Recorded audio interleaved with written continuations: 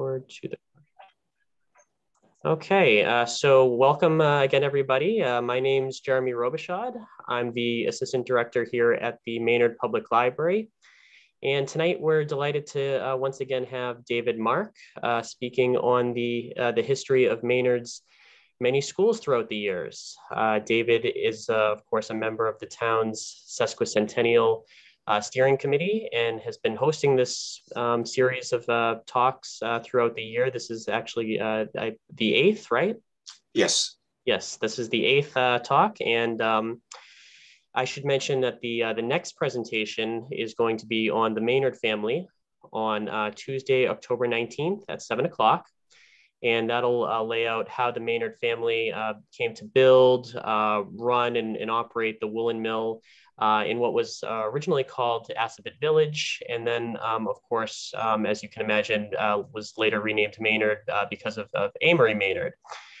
so more information about the, the upcoming programs in the series, links to all those previously recorded programs. Again, we've, we've had, this is, we've had seven before this. Um, and you can view those and also the, uh, the sign up form for the upcoming programs. You can, if you go on our website, uh, maynardpubliclibrary.org slash May 150, M-A-Y 150, you can get all that stuff. And then uh, for information about the sesquicentennial um, and all the uh, events that they still have uh, planned for the rest of the year, if you go to uh, maynard150.org, uh, you can get that. So I am going to go ahead and turn it over to David. Uh, go ahead. Okay, so before I start my slides, I appreciate everyone being here tonight, and we're just going to uh, learn about the school system, the buildings, and the people that were in and operating those buildings. And I, I think there's a lot of information. Uh, we'll do with then a Q&A at the end, and then if we still have time, there's some bonus slides after that. Now, before I start, I once again want to plug the book. If you haven't bought it yet, this is the Sesquicentennial book. It's available at Six Bridges Gallery at 77 Main Street um, for $22. And I'm just hoping that you'll find that this is something just very nice to have around the house. Um, it's sort of a bunch of short, short pieces. So you can also leave it in your, uh, perhaps your guest bedrooms, your guests have something to read come. Or here's a suggestion, if you have new neighbors in town, this is a sort of welcome, nice welcome to Maynard gift to give to people. So after that plug, we'll get started on this. Uh, let's do, I think, share screen, the talk, share, um, slideshow. On slideshow. Um, Jeremy, are we up and on? Yes. Okay. Uh, then here we are. We're talking about the schools through the centuries, and I really do mean centuries because the very first school that we had in this area was um, in 1766, long before Maynard was Maynard. Uh, you can see two columns on this, uh, recently posted at Maynard Life Outdoors. Um, includes the list of the schools, the years and operations. I want to, as always, appreciate the, uh, the contributions from the Maynard Historical Commission and the Maynard Historical Society. And if you feel you have to tell me that I said something wrong and you want to save for the Q&A, that's a good time, or you can always send it to my email address. Let's try this. So um, first, what's going on? This is a 150th anniversary of creation of Maynard. Uh, you can buy the book, and today's Zoom talk is about the schools. On October 2nd, uh, there will be Maynard Fest and fireworks that evening. And then I'm going to say COVID willing, a Maynard history exhibit with items from the collection will be on display at the library for November. COVID not willing, uh, we may bump this to early 2022 when we're all really sure that we're uh, either had our booster shots or got our first set of shots or that the, the uh, COVID is, is fading away. So if we get to it, here is a list of all the schools that have existed, all the public schools that have existed in Maynard through the years. Now there's one or two of these that are basically renaming of existing buildings, but most of these are new. And I do want to point out that I do know how to spell current in the lower right corner correctly, but this is an old slide. There it is, current, current. Um, so there are a couple of schools that, and also the last column sort of shows the fate of these buildings. And you notice we'll touch a little bit later on the fact that uh, there were a fair number of fires uh, that affected the school system um, in Maynard. So, and that the current high school, which was open for the 2013-14 year, was is actually the sixth high school that Maynard has offered to its um, students.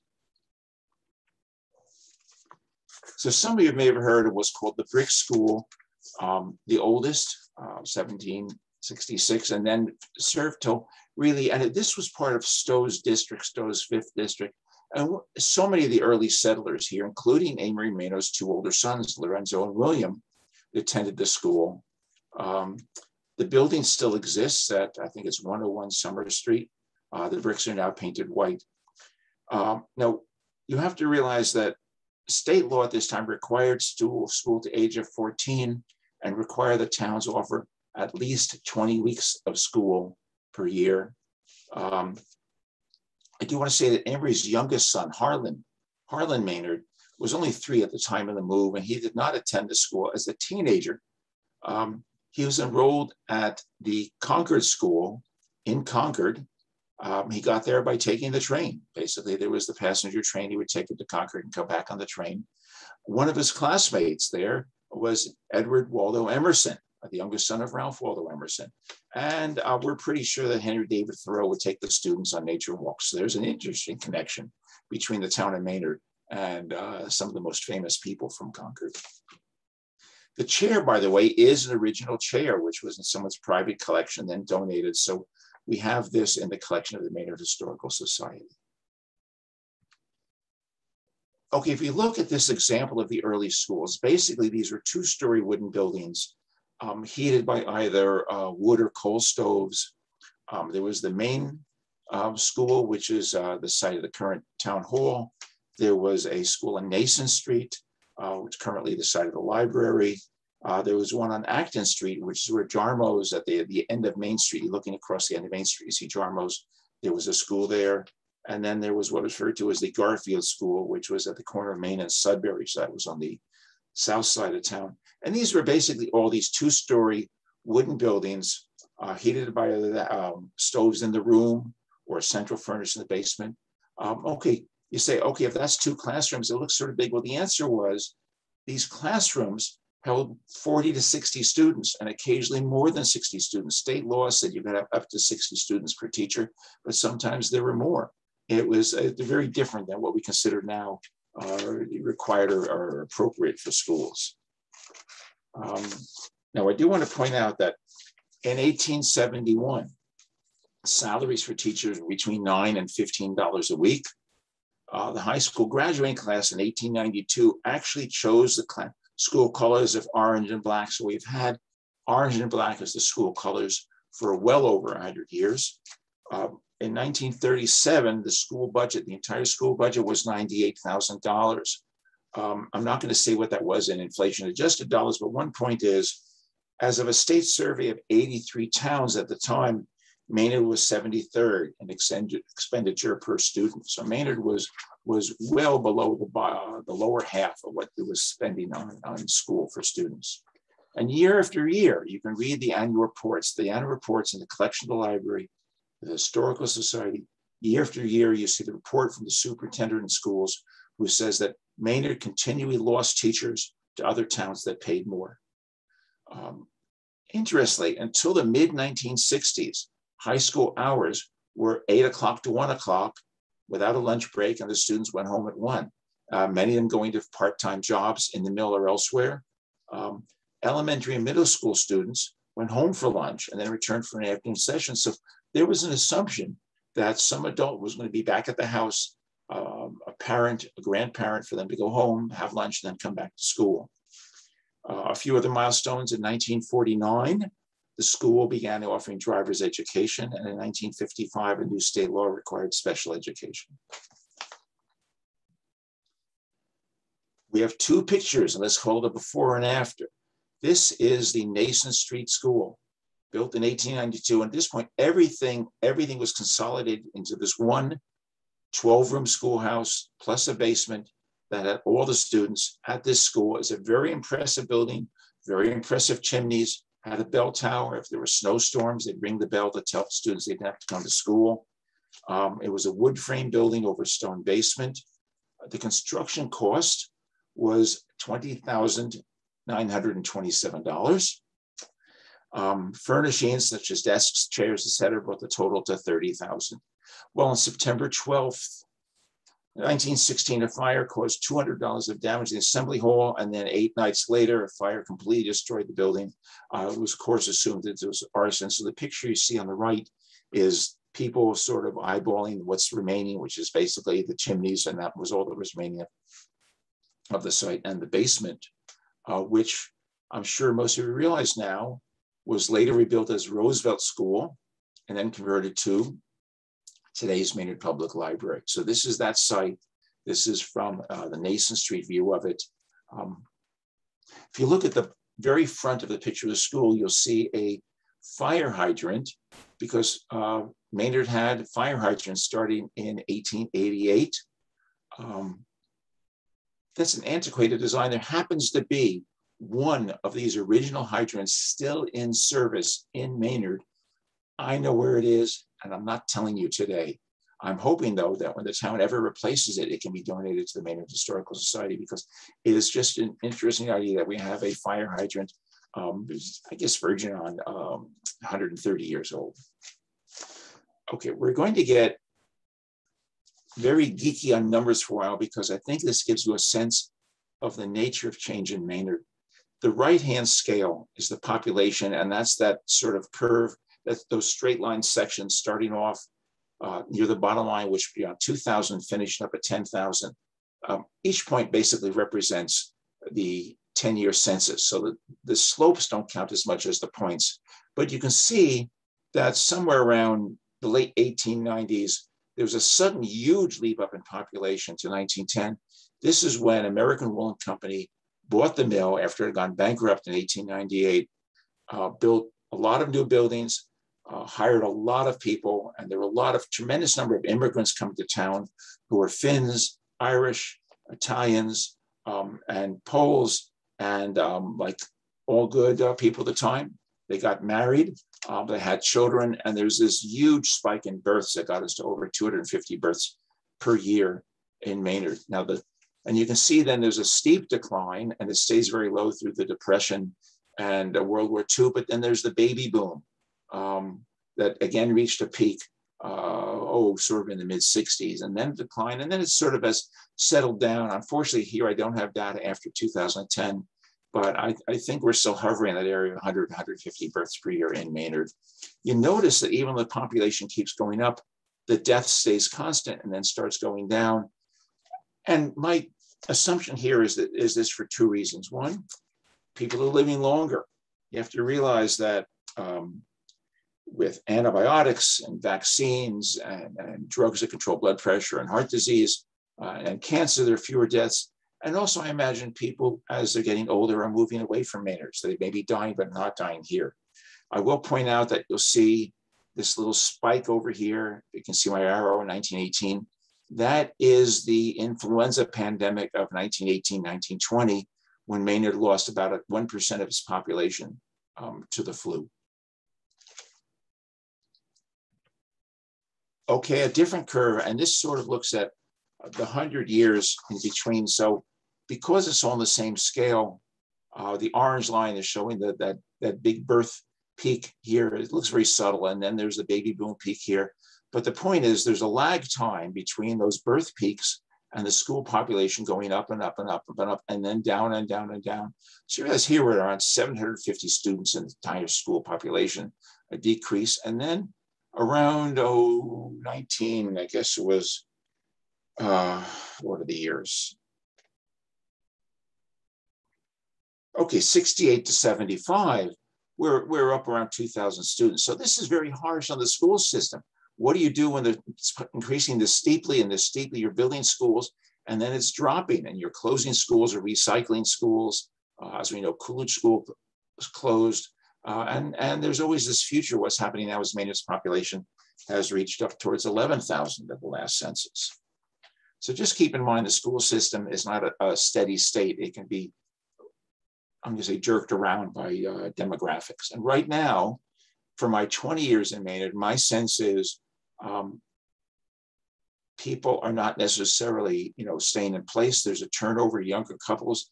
I'm calling it the stroller set, but there's just a lot more younger people with young children showing up in Maynard. And I'm sure that's moving into the school system and as anticipated. We now see here the Wilson School. Um, it's called the first real brick school. So it's two stories over a basement. It's where the town hall is now. Uh, it was on operation from 1903 to 42, and then it was mothballed and then opened up again six years later with the beginning of those students. And then this one was also destroyed by a fire. Um,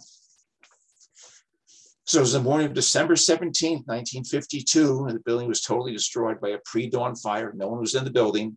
The town received um, almost $60,000 in insurance. The land, which had originally deeded by the Maynard family to be used only as for schools, was seized by eminent domain for the town to build the town um, hall and library on that site, completed in 1962. Okay, here we have a similar school. It's called the Bancroft School, later the Coolidge School, excuse me. You notice initially in this colored postcard image, it's only one story. So that was 1906. And four years later, they said, okay, not enough school, and put a whole second story on it. So the second story was added in 1910. It was officially named Calvin Coolidge School in 1932. the same town meeting that the Main Street School became Woodrow Wilson. So I guess we were we were big on presidents at the time.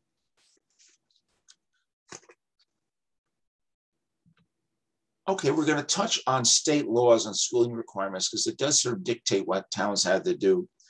Um, 1872 uh, allowed up to 60 students per teacher and was some exceeded. 1887, a child shall go to school at least 20 weeks per year. Maynard was usually doing, most towns are doing sort of around 35 to 38 until age 14. Um, 1891, schools will provide textbooks. And I think it was around this time the high school actually got its own library. 1898, no child under 14 years of age should be employed in any factory, workshop, or mercantile establishment. Uh, however, um, children under 14 could still work on, for example, on, on farms and other types of places. 1911, a little bit patriotic, schools will have a flagpole with an American flag. 1913, all children must retain in school till 16 years old. One important point here is, is that if you looked at the high school population around this time, the freshman and sophomore student population would be about 60 or 70 for each of those class years. Uh, the junior would be half that, maybe 30 students, because a lot of them, as they hit 16, dropped out and went to work in the mill. Um, often their parents wanted them out of the school as quickly as possible because they wanted the income from their children. And the senior graduating class would be as small as, as 15, 16, 17 students. The last point here is in 1981. Uh, some of you remember Proposition two and a half, a limit on tax increases, led in this town to the dismissal of 25 teachers, 26 non-teaching positions, mostly because it coincided with the, the decrease we saw in the earlier slide of the number of students, but it was sort of, let's call it harsh on this teaching population. Okay, Roosevelt School, 1918 to 1988. Uh, you see it extremely well decorated and all the students are outside for a main centennial. And the picture on the right basically looks very familiar because that's what it looks like uh, now that the library is there. Uh, the library was, um, I think we got the, this next slide. We point out that the building was erected in 1918, closed in 88, but then the renovation was completed in 06. There was a long period that the building laid fallow uh, before it was converted into the current library, pretty much by building a modern shell inside the existing brick. The town, of course, has had a library for a long time. 1881, Maynard did fund a library. It was open only two evenings a week. 1885 was moved to the Riverside Co-op, which is um, where what was the Knights of Columbus building uh, on the corner of, of, of Summer and Nason is. Uh, the co-op at that point was a larger wood building, not the big brick building that there's now. 1918 moved to Naylor Block. Um, interestingly, both the Riverside site and the Naylor site burned, so maybe fire was chasing the library, but it was moved, what didn't have to be there when the fires were there. 1962 moved to its own building next to Town Hall, that's been the police station as of 09. And 06 on the site, which had been Roosevelt School, is now our public library. Coolidge has also um, been decommissioned as a school. So you see on the, on the left, uh, the entrance to the building, on the right, the fact that it looks to be, be converted over the next couple of years to the Calvin Schoolhouse Loft. I think the proposal is uh, somewhere between 10 and 12 two bedroom apartments, retaining as much as possible the exterior of the building as historic. And the building is limited to the building itself and a parking lot so that the, the snow slope, the sledding slope, and, and the playground below it uh, remains a town playground. So it took a long while, but not as long as it took to figure out what to do Roosevelt School to turn this in, to find a buyer for this. And, and, and basically the buyer paid a very modest amount for the building, but it's far less than what it would cost just to tear it down. So the town is happy that the building will become a, property tax producing building and, and rather than something the town has been paying to manage. I touched on fires, so I just want to say that we did have a number of school fires. 1879, uh, Nason was partial. 1916, Nason was a total. You saw the picture. 1952, again, Wilson, the brick shell remained, but everything inside was burned. So again, a total fire and tear down. There was actually then a 1977 fire. It was uh, Emerson Fowler on Summer Street. It was partial but severe, repaired, and uh, a more modest fire at the high school in 1992, again repaired. Fires were not rare events. I think one of the important points is you realize how much of Maynard burned because just a partial list was the paper mill, music hall, the Naylor block, uh, the trolley car barn, the Maynard Hotel, which is where Memorial Park is now, the Bent Ice House, Riverside block, which is uh, Gruber's, um, was the Gruber's building, the Riverside Co-op I mentioned, and Amory's mansion was being converted to apartments and burned in 1965. So fire has been a very big part of, of Maynard's history. Pretty much you'll see the same in almost any of these, these towns. Hudson had its share, Acton had its share, fire's fire. And you have to realize that we're talking about houses that were heated by wood, heated by coal, lit by kerosene, lit by candles, lit by glass. Um, there was a lot of open flame and a lot of consequences. The Summer Street schools, and what you see on the left is the house that was there that belonged to Dr. Rich. If you look carefully to the left, you'll see him um, and his daughter sitting in his automobile. He was the very first person in town to own an automobile, and this was a Stanley steamer, a steam powered car. Um, one of the figures standing in the middle of the lawn, uh, wearing a dark uniform, was the chauffeur, who was the first um, African American um, to be in Maynard. The house itself was moved to Florida Street to make room for the building you see on the right, which is the basically now the east wing of Art Space, uh, what you see in front of that is the very dirt Florida street sort of leading up to this building. Uh, so that was 1916. And then the center and the west wing were built in 1926. Um, it was finally abandoned as a school system in 2000 and instantly became art space, which has been occupying it ever since. One problem never solved. If you look at old maps, you'll actually see there was a stream running through this, through the center of this, parallel to Florida Street through that was uh, Carboni Park and into the Assabet River. So basically, the what they did was they, they piped that that little creek underneath the building. Um, let's just say it's not entirely adequate because the basement tends to flood. Uh, the parking lot floods when the rain gets pretty heavy. So uh, what happens when you build on streams, you get water. We see on the left a graduating class from 1917, all I think 13 of them, all very, very nicely dressed, happy with their diplomas. And on the right, the, the high school baseball team, also 1917. Okay, we know that the school was called Fowler School, or specifically the Geiler Fowler Elementary School. The question was, who was Geiler Fowler? So we now have a picture of him on the left and let me just get to the right page here. The full name was the Geiler W. Fowler Elementary School, meaning the east wing of the Summer Street complex from 1964 on after the high school moved out. Uh, later became the Fowler Middle School, the entire building, and then the name was transferred over to the campuses on the south side of you know, Route 117, uh, where it remains to this day. So Henry Fowler, Geiler's grandfather, was the first signer of the 1871 petition. And at the time, he was an undertaker in town. His son, Orrin Fowler, followed into the family business, continued running the Fowler Funeral Home. And he and his wife, Nellie, were definitely a power couple in early Maynard. He was on the founding boards of local banks, held many town offices. She was a daughter of the American Republic and the first president of the American Legion Ladies Auxiliary. She was also the first woman to be elected to the school board in Maynard. And Mr. and Mrs. Fowler were among the honorables on the very first electric trolley ride in 1901. They had two sons, um, Geyer and um, Henry, uh, both Harvard graduates uh, and World War I veterans. And um, Henry uh, became a lawyer and, and uh, moved to Washington, D.C. And then Geyer uh, took up the family business, continued. So it is now named the Fowler Kennedy Funeral Service.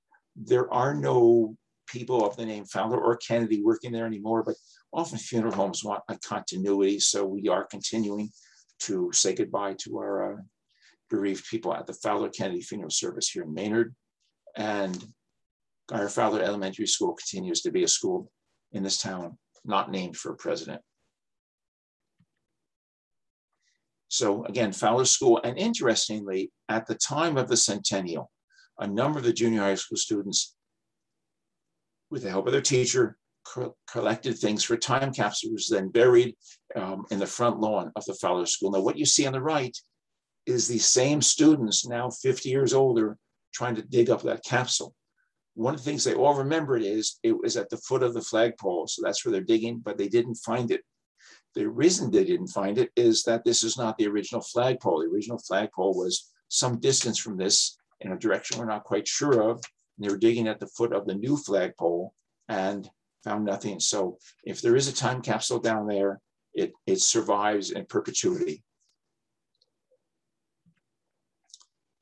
The next phase for the Maynard school system was to move everything to the schools adjacent to the south side of 117 on a large campus that would provide for parking and playgrounds uh, for physical education. And by the way, Alumni Field was already there as of 1928. So land was taken from Crowe Park, and also there was a, a cricket pitch, a cricket uh, playing area there, and all this land was taken away for first the Green Meadow Elementary School, um, and then the other, other elementary schools sort of wound down when Green Meadow was expanded. Maynard High School moved to its campus in 1964, replaced in 19 in 2013, and then the Fowler Middle School uh, finished moving over there in, in 2000. So if we back up a moment and look at high school number five, which served us so well uh, for almost 50 years. Uh, so what you're seeing here is the somewhat modest main entrance and what had been on the wall, the Maynard High School sign. I had actually asked the company that was taking the school apart whether it was possible at least retrieve or keep the, the tiger emblem from that sign. And what I was told was that the, the wood was so rotten that they basically was crumbling in their hands as they were taking it off. So there was no way to save that. Um, so that just remains this picture as a memory. We do know we had the marching band. In fact, they just marched in the most recent parade. This picture happens to be from 1965. And WAVM, and the AVM stands for Assabet Valley Maynard. The school's radio station began broadcasting in 1973 at 60 hours per week with 75 licensed student broadcasters. Um, they then increased their wattage from 10 to 500 watts and they now share that, um, I think it's 91.7 with a number of other uh, um, broadcasting, but they still get the broadcasting. They've added cable TV in 1982. So they do the town meetings and just do a, a tremendous job. And many of the students have gone through WAVM, have gone on careers in, uh, in broadcasting. So student, students in very good stead. Now, for those people who've lived here for a while, they know that we've occasionally have approached other towns to find out if it was possible to merge our high school into there. So in the early 1990s and again, circa 2002, Maynard was thinking about mergers. And one of the reasons being is that our building was physically below code. Uh, we were warned we could lose our accreditation in 2002 and actually put on probation in 2006. So there were circa 2007 discussions with all of the regional neighboring high schools. Um, that's Acton, Boxborough, Concord, Carlisle, Lincoln, Sudbury, Nashoba, which covers three towns, and Hudson. And in each instance, Maynard was rebuffed. Um, the reasons given, uh, uh, at least officially, is they had their own space issues. But some were willing to say that they didn't want the Maynard students because they would lower those schools' uh, MCAS scores in reading proficiency and mathematics. I do want to point out that as of this year, Maynard High School, as a standalone high school, is in the top 30% uh, for the state in reading proficiency and mathematics. So Maynard, in its new high school, has managed to lift itself up by its uh, um, let's call it bootstraps and, and moved up into a much higher level. And most of the students graduate and move on to higher education. But in the end, Maynard was left to go it alone. Construction of New High School began in 2011. And the school opened for the 13-14 school year. So if we look at this picture of the new high school, it's quite an impressive front facade. I actually took this picture yesterday, so this is very fresh. The lawn's looking very green. And this two-story building, the construction began, um, and now is, is just will stand us in good stead, hopefully for a long time. And for those of you not been there, I want to point that one of the things the students do is they paint their own dedicated parking spaces. So in the student parking lot, students in September go in there, get an assigned parking space, paint it, and it's theirs. And if you drive over there, you'll see these and all the other parking spaces that have been nicely painted.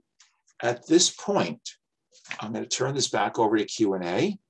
So I'm going to stop the share and um, I want to hear questions, corrections, elaborations. Uh, Jeremy, take it on. Either take us what's in chat or let people come in live. I haven't actually received any chat questions yet, but that's okay. This is a good time for you to go ahead and start typing away, or you can also um, raise your hand and when i say raise your hand i mean there's a there's an option in zoom uh, on if you kind of hover over your um, your name you can raise your hand and then you can ask a question uh, to david directly so either uh, put it in the chat or raise your hand. And also if you're willing to stay with us. I have a few bonus slides afterwards about the private schools that are in maynard.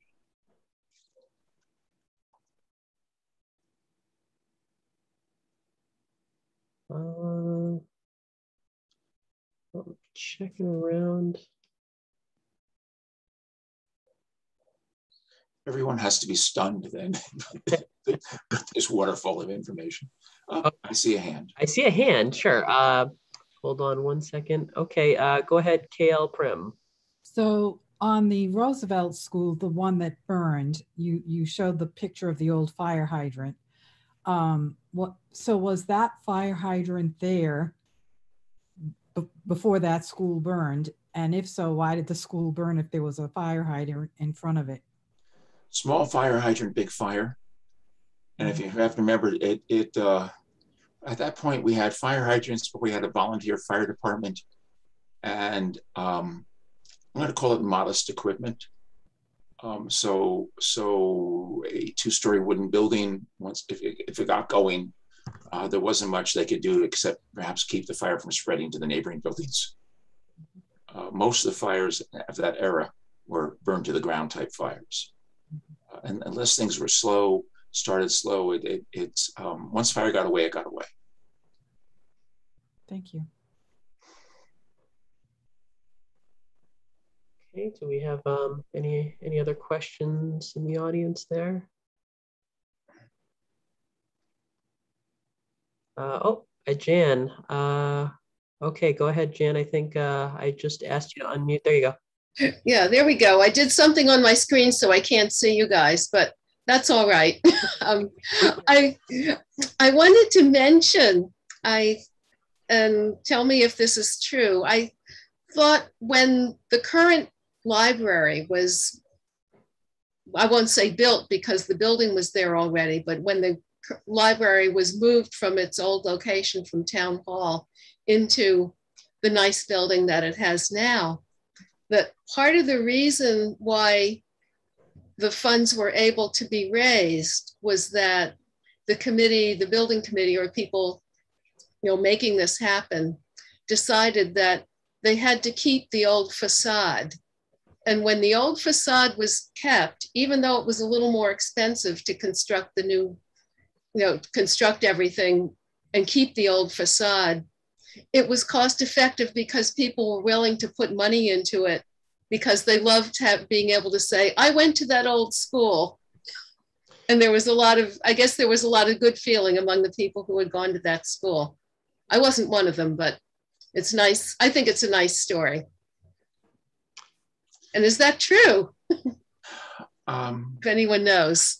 Well, I, I can, you know, I, I was, please, I started in 2010 here at the library, so I can't say for sure. I'm not exactly sure if that that that that, that does sound like a, a, possibility, and I can definitely say, you know, having worked here for many years, um, you know, people are always just so thrilled, you know, that if they went to elementary school here, um, they're always just so, th- you know, especially if they're coming from out of town and you know they didn't quite realize what what what's been done with the building. They're always so thrilled to see, you know, the the out the exterior looks exactly as they remember it. So I, I'm sure that did um, help in fundraising. Right, well, I know the funding was a combination of state money, town money, and money raised by friends of the library. Um, well, you know, basically put it in that pot. And and architecturally, you know, um, yes, the shell was kept, and they pretty much erected a new building inside of it, and a new roof on top of it. Um, so, so, and that's where all the electricity and then the plumbing and the wiring and the venting all got built in. But they were able to to basically keep uh, the original shell because it was structurally sound, except for the roof, which leaked. um, a little story uh, in that I remember when the construction started. At one point, there was a um, we have 30 cubic yard dumpster, so it's it's it's huge and, and quite high. And being a curious person, I sort of levered myself to look. And it turns out over many, many, many, many, many years, anytime the police department ended up with an abandoned bicycle, rather than just throwing it out, they just stored it in the old Roosevelt School building. So when it came time to do the construction, they completely filled a 30 cubic yard dumpster with old bicycles, which if I wish I had a camera, I should have taken a picture of, but I do have that memory. Yeah, you should have taken it to Bikes Not Bombs they should have perhaps turned over to you know Ray and Sons Bicycling and said, okay, let's rehab these and then sell them to people yeah. at a nominal fee, uh, which other towns have done, but didn't happen here. Well, okay. Any other questions? Otherwise, we'll, we'll do a. Just a few. Pretty cool pictures of the, the library. You know, sometimes pictures taken between '88 and 2006 during the you know the construction. You can see inside. You don't. I don't see that. I don't have any pictures of the bikes, but you can see the the guts of the building, and it was it was in rough shape. Yeah, but I know there was leaks and there were pigeons, and yeah, it was uh, it was it was a lesson. If you don't take care of a building, it will deteriorate. Uh, anybody else raising their hand? Oh, uh, we've got Steve. Uh, okay, Steve, you're you're on. Oh, uh, you're muted though. Uh, hold on. Unmute. Okay. Yep. I, I, I simply say that the Roosevelt School continued, in use after the Green Meadow School was built. And uh, I, it outlasted the Coolidge School. And for the, for the last few years, we, there was, was considerable spirit uh, around the Roosevelt School. Uh, it was much older than uh, Green Meadow. Uh, but uh, playground equipment was acquired and so forth. Uh, my wife helped put out a, a, new, a newsletter, uh, and uh, I did cartoons of Teddy, Teddy Roosevelt and teddy bears. And, and other picked up on that, so people may remember remember uh, school parades where there were a lot of teddy bear, teddy bear figures and sort of thing, because the teddy bear does is something that if a phenomenon that happened while Teddy Roosevelt was president. And before that, I'm not sure uh, how many people realized that the school was named for Theodore Roosevelt and not Franklin. Yeah, but, give it a uh, year. I, I, think that that's. It was an interesting transition. Uh, I have very strong memories of the fight over, over regionalization and that that was just between Maynard and our towns. Uh, the considerable disagreement within Maynard, and we had the the largest town meeting I've ever been to. It was outdoors. There was a thunderstorm. It, it was just an extraordinary occasion.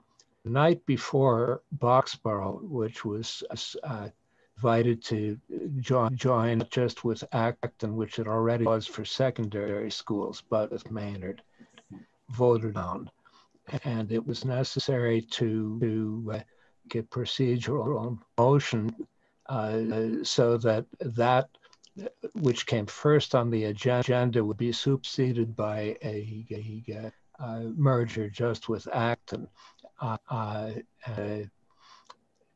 that passed, uh, and Maynard approved the the move, uh, but Act, Acton did not subsequently, and uh, there were were people from Maynard who uh, went to Acton and made a lot of noise, noise uh, as the uh, uh,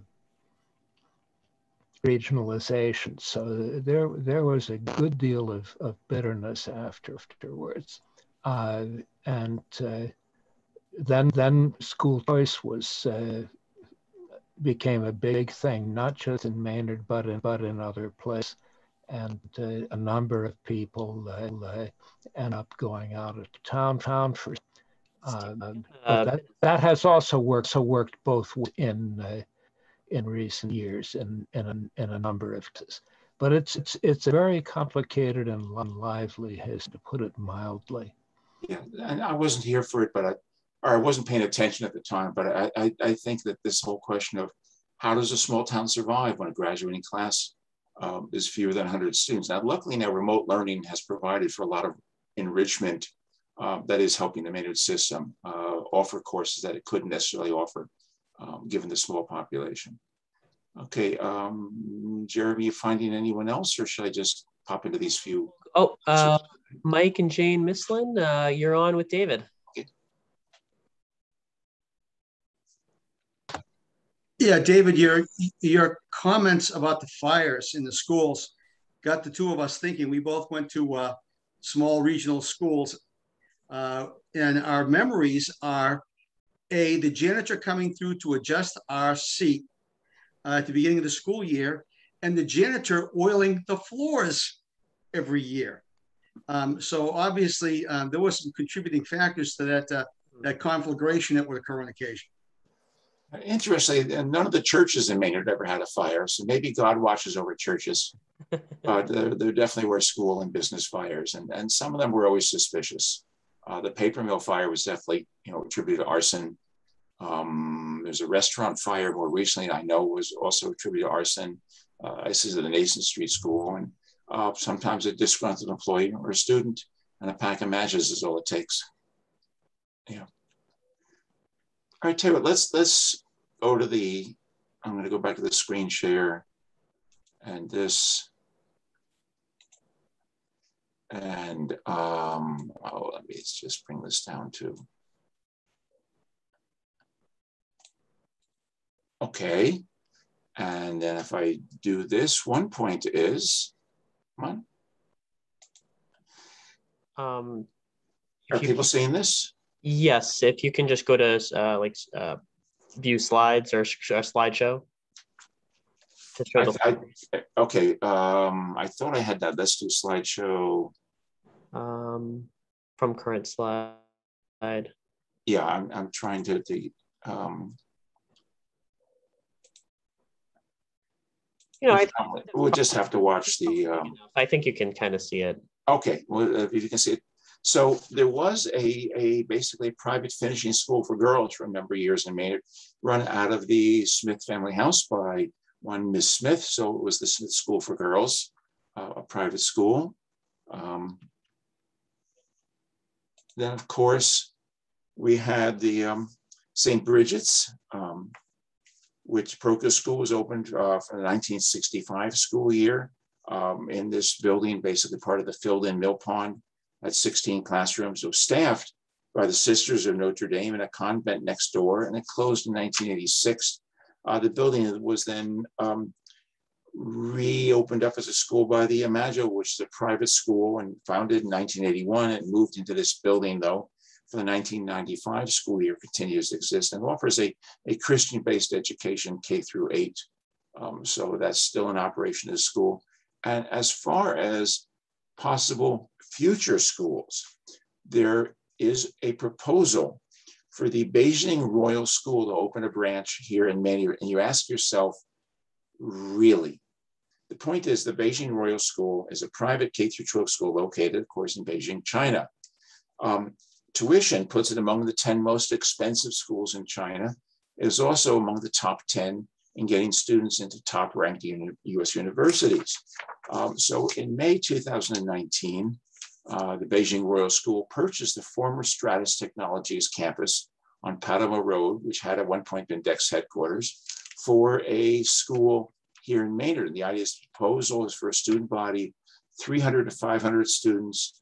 The population would be composed of one third commuting students from neighbors. And one of the points you have to realize is that, for example, Acton, I think at this one point is closing on, on being one third Asian origin and population, including a lot of uh, uh, Chinese. And the other two thirds of the students would be residents housed international students, probably half of those from China. And the original intent pre-pandemic was to open for fall 2020. It's now uh, indefinitely deferred, but at some point we may have a very interesting private school. And here's a picture of the campus, one of those digitals here in Maynard, and probably offering some additional enrichment to the Maynard High School. Uh, in fact, all of the Maynard schools and some interactions. So this is um, not even near the back burner yet, but it is something that may happen in the future. And I think at that point, I'm going to go back to stopping the share. If we're done, we're done. If there's a last moment question, let's hear it. Otherwise, I'll just say thank you all so much for again listening to talk about the history of Maynard. Yes, and um, I don't I don't see any questions, but I do want to thank everybody for coming tonight. Again, if you joined us late, I am going to be sending out this uh, the uh, recording uh, to everybody uh, in their emails, so look out for that tomorrow. And uh, I'm just gonna go through one quick time. I don't see any hands going up. All right, uh, thank you, and thank you, David. Have a good night, everybody. Good night.